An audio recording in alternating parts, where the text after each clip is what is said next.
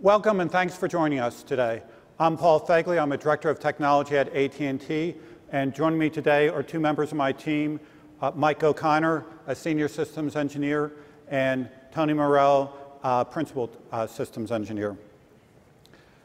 Today we're going to be talking about uh, our experience with hardware certification, and both Tony and Mike have extensive certification in certifying solutions for public and private clouds.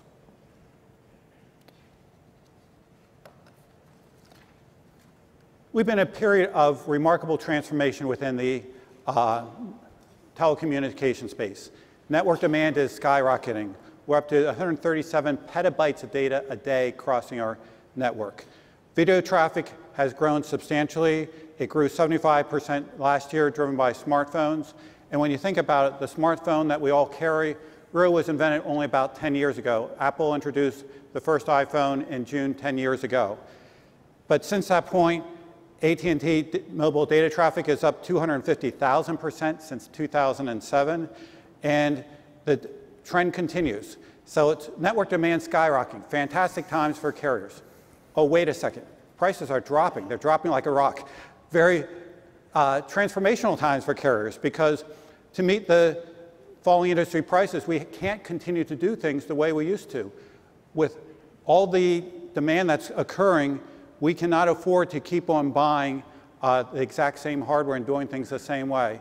So AT&T is making a very major effort to pivot from proprietary solutions to open source solutions uh, using OpenStack uh, and AT&T Integrated Cloud is one of our key initiatives.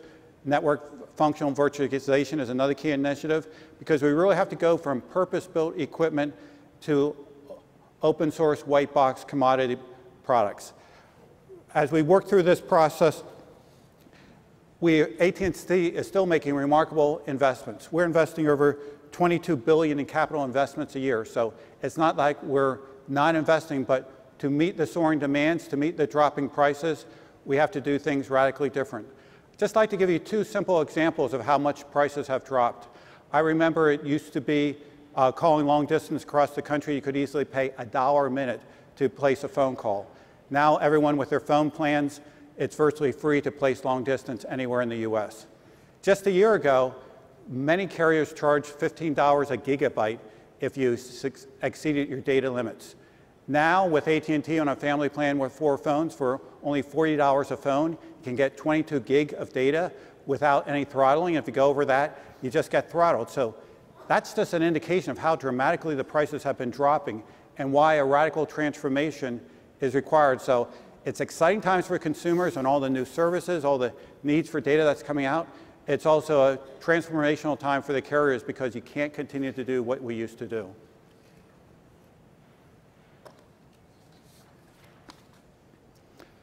I'd like to describe a little bit about what we're moving to OpenStack in the virtualized environment.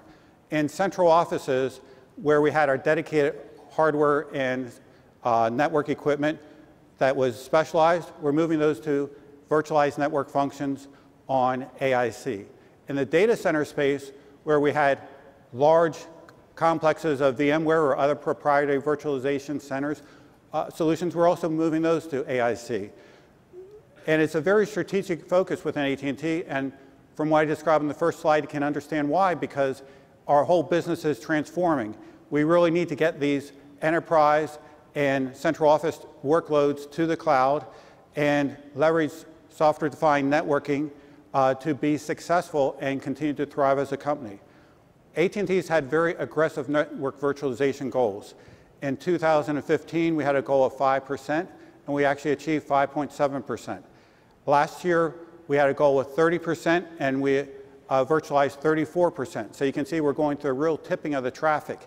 This year, our goal is 55%, we're on the range to 75. The reason why we're going for 75 is we're not expecting 100% of the traffic to be virtualized. We're expecting some of that traffic, legacy traffic, will be retired in place. So we're not trying to move 100% of our traffic to uh, the cloud, but we have a very strategic focus for very compelling business needs that we can't keep up with the demand and keep on buying that equipment uh, and stay in business.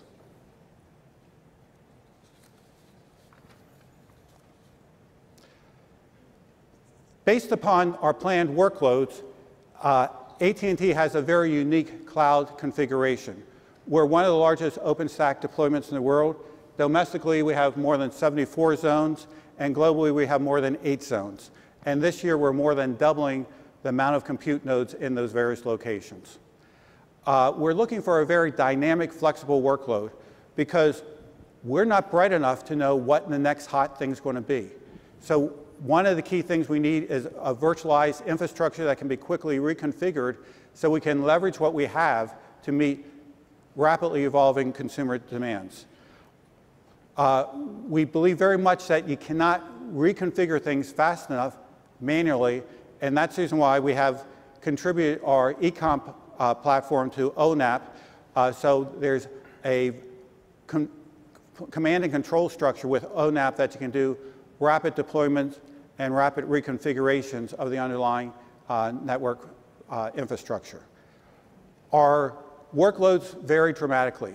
We have many small locations uh, that are in central offices for workloads that require very low latency. When you think about placing a phone call, you don't like long time delays uh, going back and forth in the middle of your communication. But if you're watching a video, you don't really know whether it's a five second buffer or not uh, as it's downloading it. So for streaming, where you're not sensitive to the latency between two people talking interactively, that can go very well in our larger uh, locations where you can scale up and scale down very effectively. Uh, one of our key goals is to try to run any workload in any AIC location. And for many people in the audience, you might think, well, that's a relatively simple goal. But we're a telecommunications company focused on security. So we have a lot of VLANs, we have a lot of firewalls, and we have a lot of other configurations that when we move workloads around, there's a lot of network changes that need to be done. We do not run AIC on a flat infrastructure where any node can talk to any node, uh, but we follow best-in-class security, which means the workloads are very isolated. So moving workloads around and reconfiguring the networks and the firewalls is a non-trivial problem.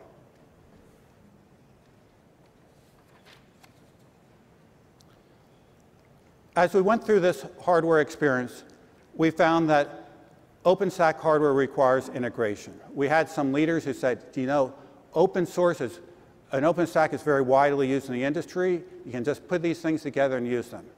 And we tried that, and it didn't quite work to our expectations. I guess we shouldn't have been surprised because even when we were buying proprietary solutions and we tried it, we always found we needed to certify and uh, test and validate that really met our uh, business needs. So this is not something new, it, but it was just reinforcing, despite all the changes, we still needed to uh, do integration on our hardware. We have some unique workloads. We're putting the core of our business on uh, OpenStack. So from that standpoint, we may have higher expectations for reliability, we may have higher expectations for failover, than other people in the industry. So what we're describing is what we found necessary to do our workload. If you're doing a standard IT workload and there's no real impact if you're down for a few hours, you may find that you can skip our steps. But we found for providing high reliability solutions to AT&T consumers, we needed to certify and validate the hardware configurations. We also found we had a very wide performance in uh, response times between different pieces of hardware. An extreme example was volume creation for one vendor using spinning disk took about 100 to 120 seconds. If you're dealing with IT workloads where you only create the volumes once a month or once a year, who cares? But within our planned usage configuration where we were expecting that we would be routinely reconfiguring workloads, redeploying them between locations, and we said, you know, for some of our scenarios, it wasn't one volume that needed to be created, it might be 20 or 30. Under those circumstances, the view was that time was totally unacceptable, and a different vendor was chosen with using flash arrays uh, versus spinning disks. So we were also changing technologies around, and we had a very radical difference in performance. What I'm really trying to emphasize is know what business need you're trying to solve, because your business need will determine whether the hardware configurations and whether response times really meet your needs. And all the hardware that we were using really did work with OpenStack. It just it did not meet our needs. It may have met IT workload needs. It may have met student computing needs, but it did not meet the expectations for very rapid configurations for AIC.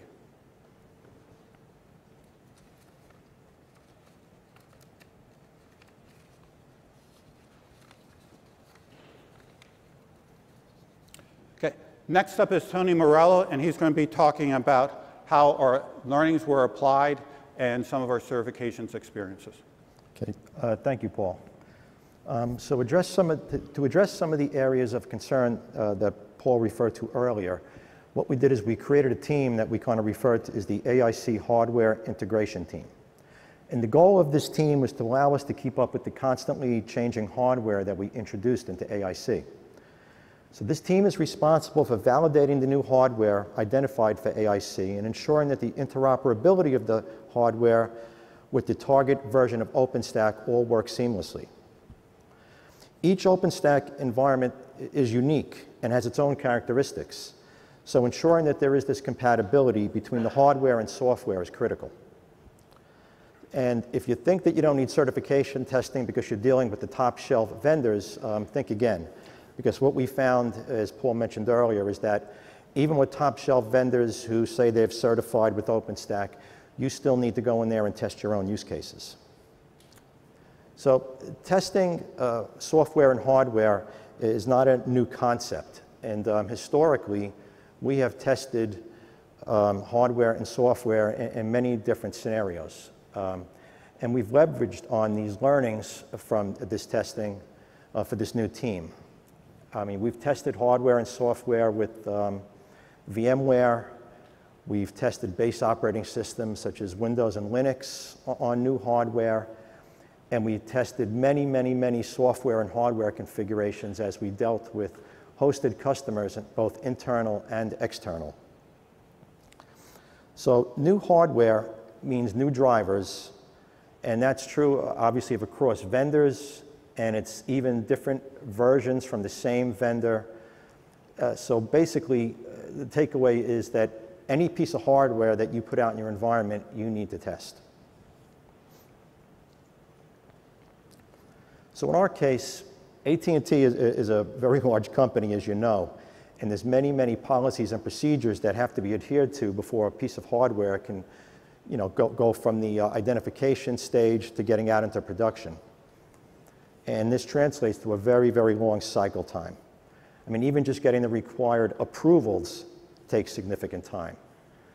So the idea behind this team was simple, and that was we wanted to shorten the cycle time from when the hardware was identified to when we can get that hardware implemented in production.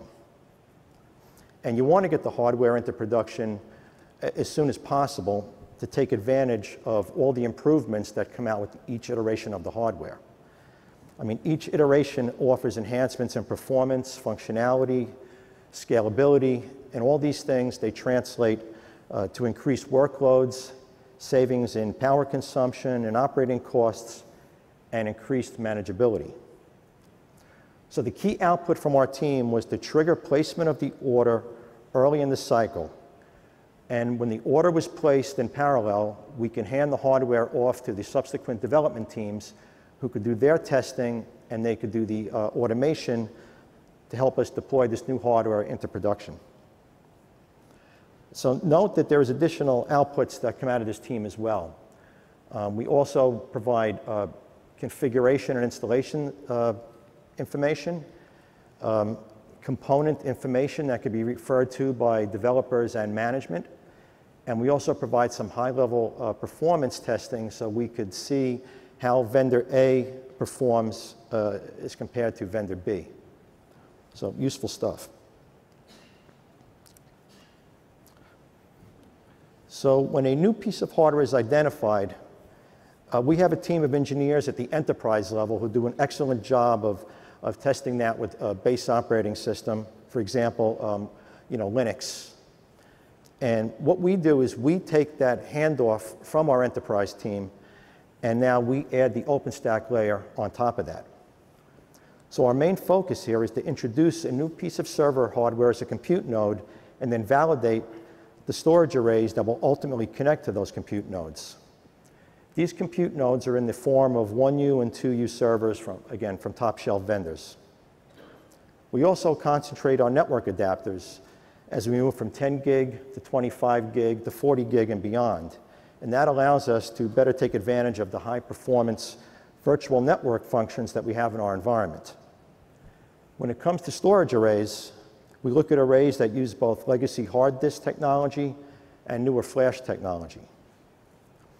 So one thing that we hear quite often is, when can we swap in top shelf vendor hardware uh, as generic white box? And I mean, we found that a compute is close, but we see that the hardware from different vendors will inevitably be different and unique. Certainly, there are BIOS settings and firmware that need to be accounted for, but even beyond that, there are plenty of deltas that need to be um, taken in, into account. For example, on vendor A's hardware, our PXE boot process might need to PXE boot off of embedded NIC 1, whereas if we're using um, vendor B, it might be using embedded NIC 3. Now, certainly these are things that could be handled in the software, but the point is that unless you identify these uh, differences, your deployment scripts can fail. So again, the key point here is that all hardware really needs to be um, tested.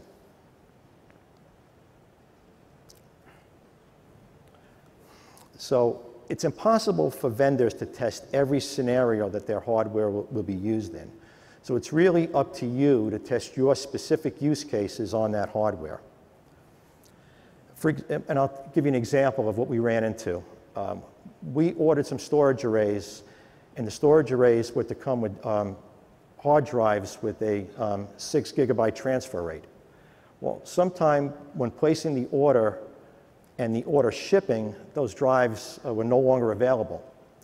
So the vendor swapped in drives with a 12 gig transfer rate. So everybody said, great, we're going to get you know, faster, better performing drives. But guess what happened? When we got these uh, storage units into production, uh, everything failed.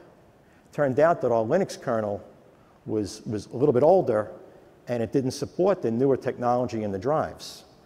So we ended up with a bunch of storage arrays that we had to find new homes for.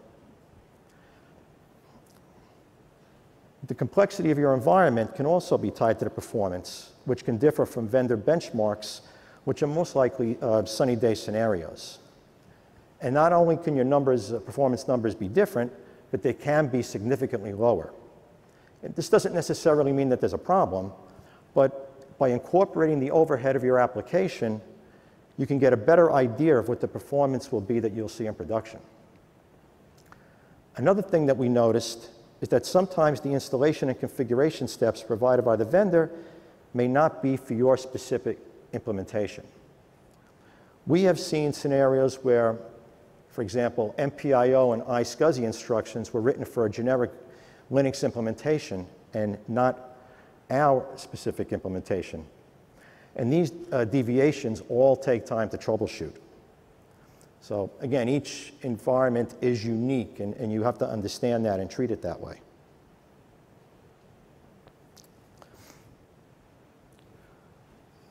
So we still find that many folks think that you could just grab a piece of hardware, plug it in, and it's going to work. So then the question is, well, what is there to test? Well, in the past, as I said before, we focused on the base OS on bare metal, and we tested that all the core functionality existed and performed as expected. This included uh, creating NIC bonds, testing NIC failover, etc. But now by putting OpenStack on there, you've added another layer of complexity. So now we still do the same tests, but now we do it with OpenStack installed. So now we generate heat stacks and we pull the cables to test high availability. And we try to leverage whatever open source tools that are available first. But if we can't find a tool that fits our needs, we'll develop it in-house so it'll meet our specific use case. And this allows us greater flexibility to target specific areas and to enhance the scripts as we find new and better ways to test. And this includes scripts that we've created to test the common OpenStack API endpoints, as well as other scripts that we could spin up heat stacks and we could kind of do a high-level performance test. Just, just note that our testing is not really to determine um, maximums, but really just to kind of see what kind of performance we could expect to see in a, in a certain period of time. And to talk about these scripts in more detail, I'm going to introduce Mike O'Connor. Thanks, Tony.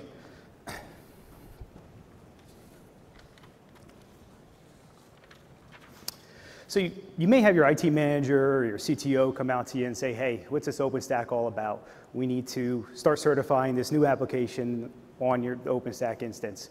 So for a conventional hardware team, it might be a little intimidating at first trying to understand what Nova is, where your Cinder volume service is, and all these new services that are going to be introduced into your OpenStack environment. And you might not have a lot of experience with an OpenStack deployment. So for us, we, we uh, started out with uh, setting up some DevStack environments. We followed the OpenStack uh, instructions on the website to go through and really get an understanding of how OpenStack works, how the APIs talk to each other, where the log files are, and make sure you turn on debug mode to see the tracebacks, see what's going on, to really have an understanding of what's going on behind the scenes and not just from you know, the Horizon UI or the CLI. So it's very important to understand that um, you might not even be able to rely on uh, your vendors all the time for, for support because you might have a scenario in the past where you just call up you know, a vendor, uh, VMware, and say, hey, I've got this issue. Can we get a patch or a new uh, executable to fix this issue? You get a new patch and apply it in a couple weeks, whatever, and you're up and, up and running. So I think from the hardware point of view, certification teams need to think about getting involved and going out to GitHub, looking at the driver files, see what's actually changing under the covers, what, change, what changes are occurring, what feature sets are being implemented in a particular Cinder driver or, or your Nova um, libvirt stuff. So I think that really requires a, a, mindset change for, for a, a hardware certification team. Um, on the screen here now, you can see that um, these are some of the high-level uh, testing items that we, we complete. Um, you know, we were able to leverage a lot of the knowledge that we have used in the past for our certifications, but actually help, it helped out a lot being able to introduce the heat, as uh, Tony mentioned, and using the heat stacks um, for, for stressing our environment to make sure everything's working properly. Um, we also validate a lot of the, the, the cables to make sure we spin up a heat stack and we can make sure it's running and, and see volumes created, instances created, and therefore we will go and, and pool cables on a storage array and we'll see, hey, does that heat stack keep going or are REST calls still be mating to the storage API to see that those volumes are still being created, being um, attached, and also the, the iSCSI traffic's traversing the appropriate network. Um, and when we pull those cables, we want to make sure that that fails over properly. And if it doesn't, obviously we have either an issue with the Cinder driver, and we usually work with our vendors to try to resolve these issues. So we needed a way to, to um, test, test a lot of our hardware with some new tools because not everybody on our team was developers or, or had in-depth scripting knowledge. So we came up with a way to, we wrote some Python scripts that are leveraged with uh, YAML configuration files that actually drive our test cases against our hardware. Um, then the output's put in a, a, CSV file, and then we can make comparisons. But we're just trying to see times with how long it takes to create an instance and how long it takes to attach a volume, or you know something like a, a live migration or uh, you know uh, host aggregates uh, and anything from Cinder retypes to unmanaged, managed stuff. But the point is, we're able to do this effectively and efficiently because we were using this, these YAML files that anybody can go in there. It's easy to read um, and, and, modify uh, quickly. Um, when we did start, start out first, uh, you know, we had to do an inventory of the, the OpenStack APIs on, on dev.openstack.org uh, to get an understanding uh, and a, a, full list of all the APIs that we'll be testing. Um, but the, the thing we, we want to take um, account for is the fact that the, uh, so the, uh, the command line interface will vary a lot of times from what's actually on the documentation we found. So we would always turn on the debug command when you're making your CLI call, you can see the actual uh, debug the, the, the, curl request that's actually being made as well. So we take that back and we interrogate that response and make sure that we see a pass or a fail during our testing. So again, I would really recommend using that debug feature when you're doing anything from the CLI. Um, and again, you'll see a lot of variances sometimes between you know, something that's documented for a Cinder driver. We- We've seen differences with manages and, and retypes, or um, you know, anything that's actually listed on the, the docs dot, uh, or the dev.openstack.org uh, website.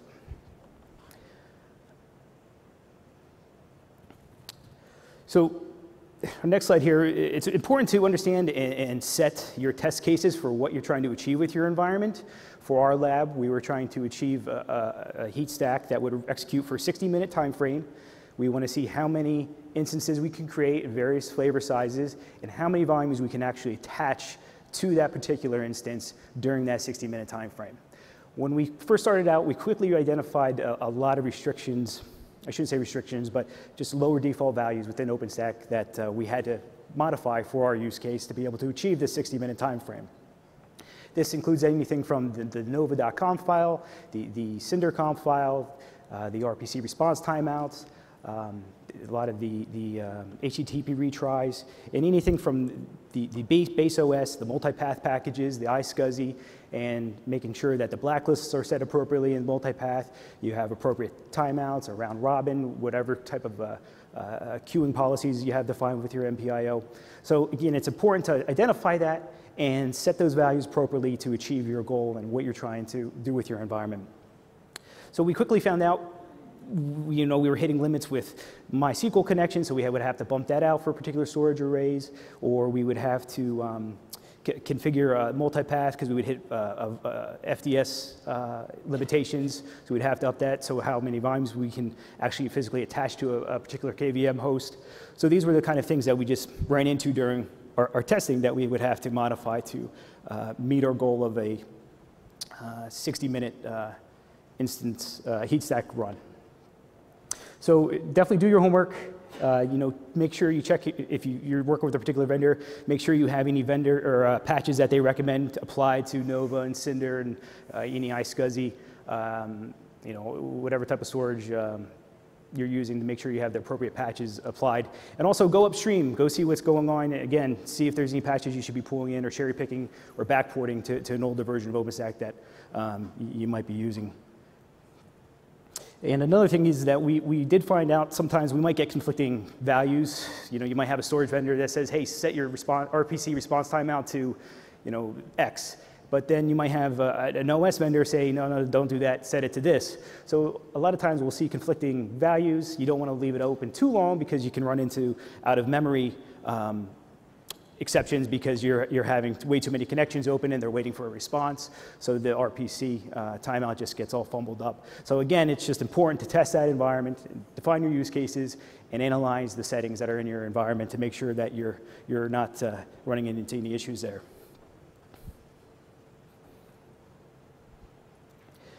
So another thing we did, we, we, we're doing a lot of uh, uh, manual work on our team to go out, spin up a heat stack, go out and install the packages manually, whatever type of packages we're using to uh, validate an environment. And you know, we would do some synthetic, synthetic IOP testing just to be able to understand that the, the, the plumbing in our environment's working properly, that the configuration files are, are working good. Um, so we built an in-house web app that able to, enabled us to do this. So it's going to go out and um, create our heat stack. We built a Node.js REST API that will um, deploy the heat stack, spin up how many instances you like, attach the volumes, then therefore uh, start up your, your uh, storage performance testing, or, or if you had a particular application that you want to test out, that it will go out, install those packages, and bring us back that data automatically, and therefore we can start to um, get just an understanding of, of, how things are working. Again, we're not using this for, for maximum uh, identification of, of, of the storage array, just because I mean, there's so many variations with, with storage testing with, you know, if your array has uh, uh, data deduplication or if there's, um, uh, you know, advanced features on that storage array that you're looking to test. You know, it really takes somebody that um, storage guy that does that all the time to really get a, a, clear understanding of maximum throughput for that environment. So again, we're just trying to make sure that that configuration is working properly and we didn't break anything with that new storage array being introduced.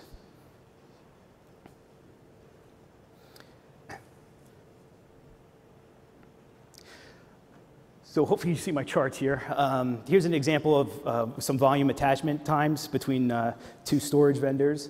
Uh, I think it's roughly a 30% difference between the two. But you can see that this is the type of information that we're trying to uh, understand how, how quickly these storage arrays can attach volumes and also detach. We, you know, another thing is that we want to make sure that that heat stack can be deleted and abandoned properly because we would notice issues where after that heat stack gets created, you know, it might be all good in the Horizon UI, but you go in there and you still might have uh, multipath or iSCSI connections that are, are, still in an orphan state that uh, if you don't clean them up properly, we just ran into issues where we're trying to create a new heat stack and therefore um, just have further issues with our testing. So, you know, it's good to go in there and manually check those settings out as, you know, the, the iSCSI connections as well. Um, and this also kind of helps us to give a, an idea of uh, if there's a change in you know, uh, firmware and we have to go out and reevaluate a storage array, you know, we can see if, uh, if th there's any variations between that, between the previous runs. We can do comparisons in these attached times. We can see if a, a particular patch that we pulled in for, again, uh, MPIO or iSCSI was an issue and um, identify if, if that's slowing down our attached times.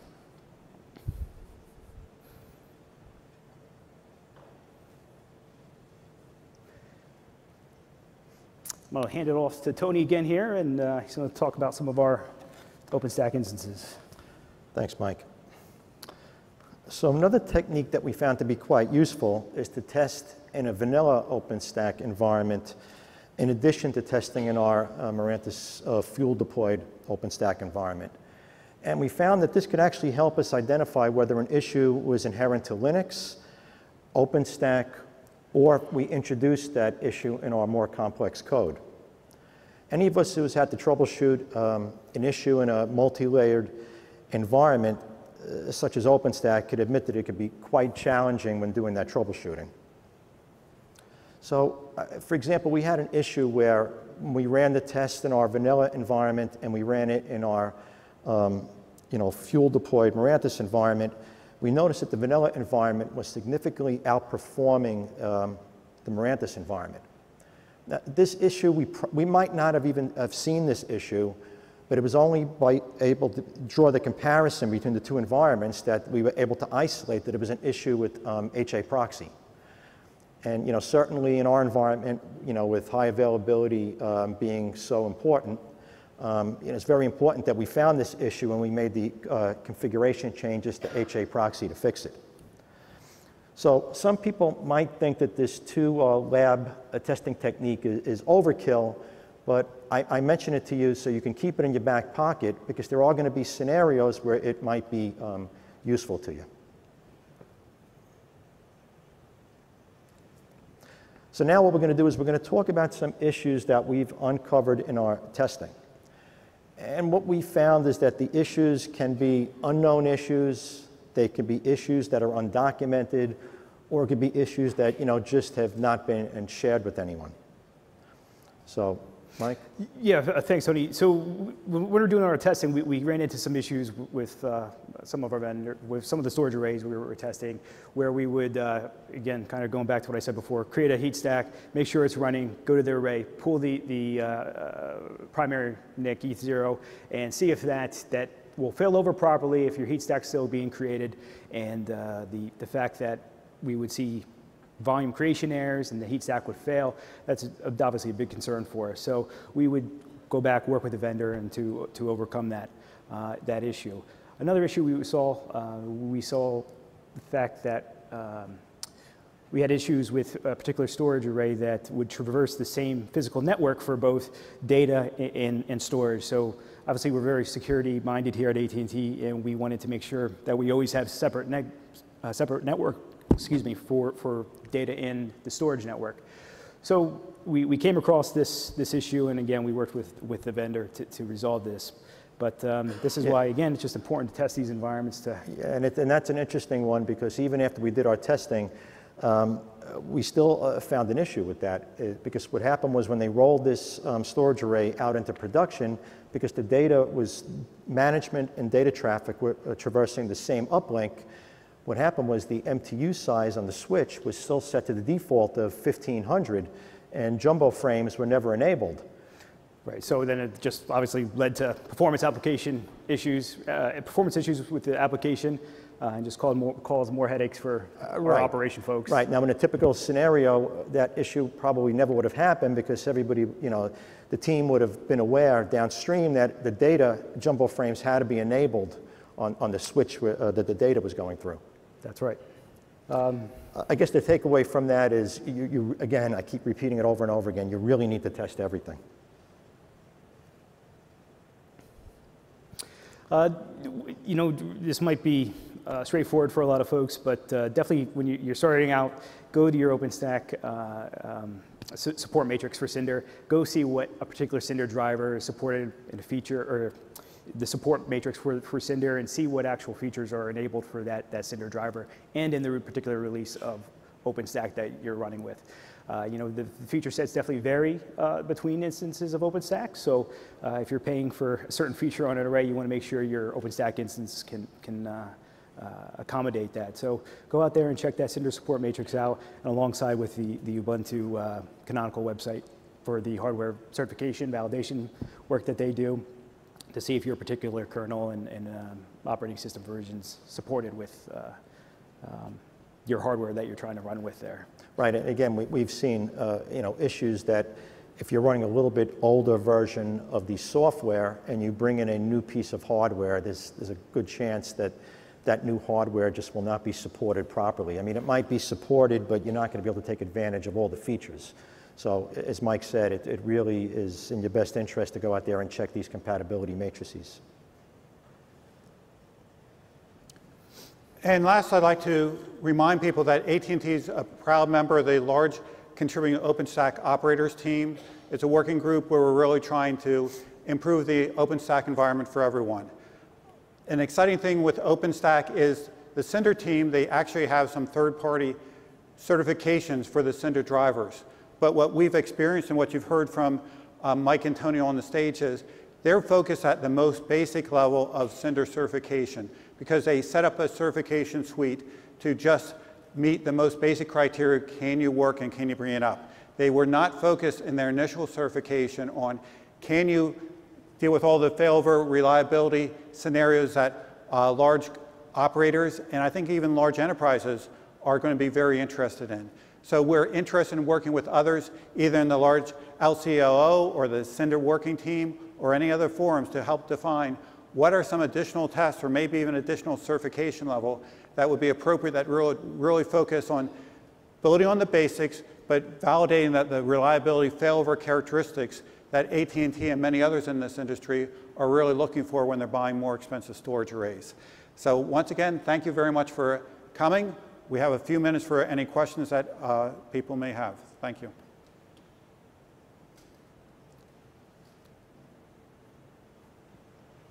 Hello, uh, thank you for the talk. Um, just a quick question, is there any chance you guys are gonna open source the, um, the web reporting tool around the heat stacks? I'm thinking in particular of the, uh, FIO reporting. Um, I think you mentioned that you, you do some FIO tests and you report back to the UI, results of those tests. Um, I, guess Rally can replace some of the other stuff, but I don't think Rally does any sort of in-depth FIO stuff like that.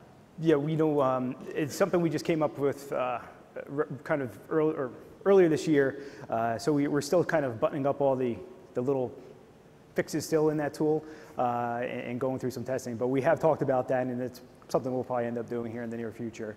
Um, you know, we did look at Tempest and, and Rally, but I don't know if they're great for stressing, I think, a full cloud infrastructure, but we're really focused on testing, a, you know, a particular, uh, an a single server and, and really stressing that particular server with how many volume. So that's kind of why that, that tool kind of came out and, and helped us out quite a bit there. Okay, so when you say single server, do you mean you, you kind of deploy an all-in-one stack on that server? Or?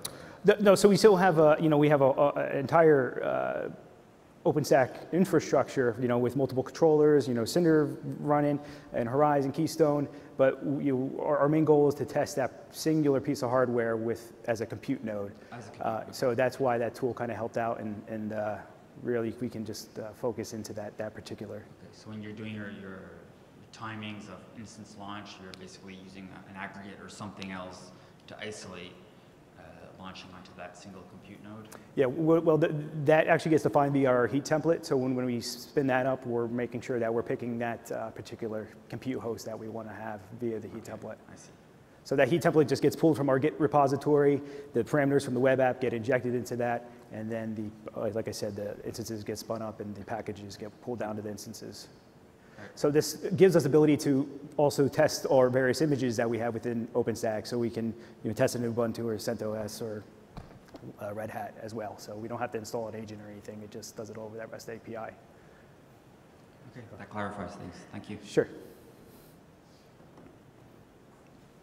Any other questions? If not, thank you very much for coming, and we'll be available if you have any questions you want to ask afterwards. Thank you.